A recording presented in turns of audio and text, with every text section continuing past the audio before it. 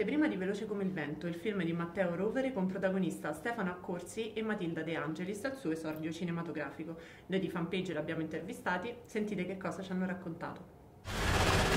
Abbiamo soltanto una gara, ancora una. Guarda che quella è una gara da malati, da disperati. Guarda che disperati veri, si è rimasti in pochi.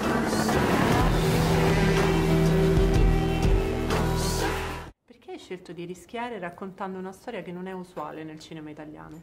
Ma in realtà secondo me è interessante quando il cinema italiano non è riconosciuto solo come genere a sé, cioè no, lo spettatore dice sempre vado a vedere un film italiano oppure non vado a vedere un film italiano, come se i film italiani fossero tutta una specie di agglomerato, non so, di tante cose diverse, un blob che va diciamo dal film d'autore alla commedia, al film anche di genere, insomma ci sono tante cose che eh, secondo me il cinema italiano ci sa proporre e quindi ho semplicemente cercato di raccontare una storia che mi emozionasse, mi colpisse e la vicenda di questi due fratelli, no? Giulia De Martino, pilota di auto da corsa e il fratello Loris che torna dal passato per prima farsi detestare e poi per aiutarla mi hanno restituito una grande emozione e quindi da qui l'idea e la voglia di prendere il loro racconto e, racco- e appunto diciamo inserirlo anche un po' rischiosamente in una storia di genere che quindi per lo spettatore però fosse anche piena di ritmo, emozionante, divertente, godibile da vedere al cinema, da vedere in sala.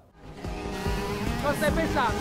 Te lo dico io cosa stai pensando. Te stai pensando a qualcosa e invece devi pensare a niente. Senti, invece sono curiosa di sapere come avete realizzato le scene d'azione perché sono un omaggio, no, un omaggio, sono molto simili a quelle tra Fast and Furious e Rush.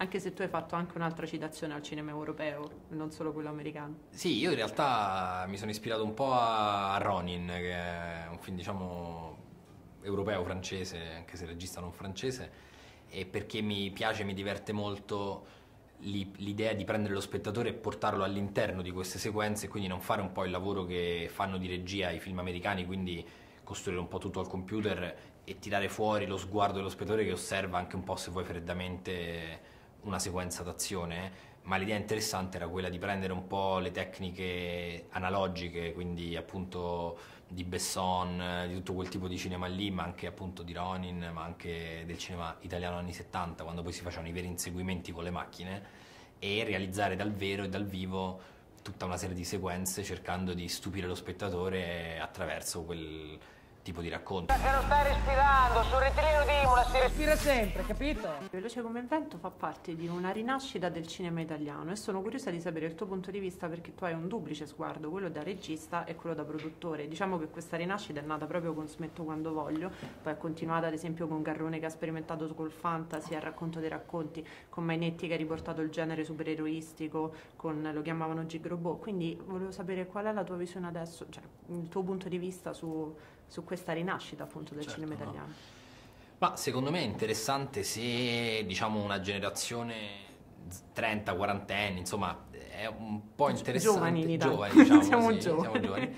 È interessante se il tentativo, cioè il tentativo che noi possiamo fare è quello di provare a realizzare dei film che noi stessi vorremmo vedere. Anche a me c'è un po' di cinema italiano che mi annoia, che non mi intrattiene, che non mi diverte come cinema che importiamo riesce a fare e mh, mm, volevo realizzare un film che invece fosse di puro intrattenimento in senso di film emotivo, emozionante ma allo stesso tempo eh, adrenalinico, ritmato, sorprendente per lo spettatore, un po' un, un unicum, no? una cosa un po' mai realizzata prima.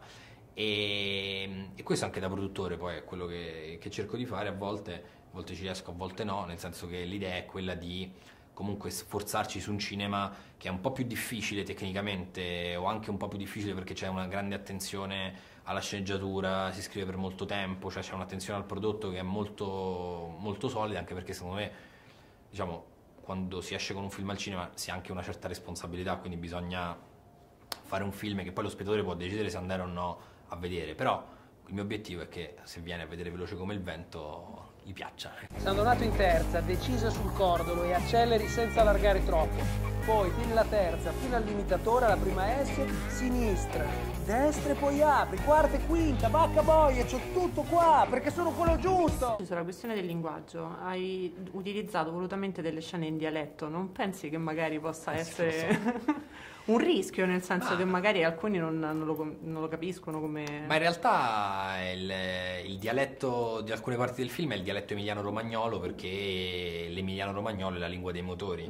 E ho fatto tutta una serie di test eh, dalla Puglia a- alla Val d'Aosta, da, diciamo da, eh, da- da Napoli a, a Torino per vedere se fosse comprensibile, pare sia molto comprensibile, ma soprattutto diverte molto perché è un dialetto per me che poi sono romano molto comico, molto, molto leggero, il- il- i motori parlano con quella cadenza e io volevo dare molto realismo al racconto e quindi volevo restituire sullo schermo quel, quel tipo di- di- di linguaggio.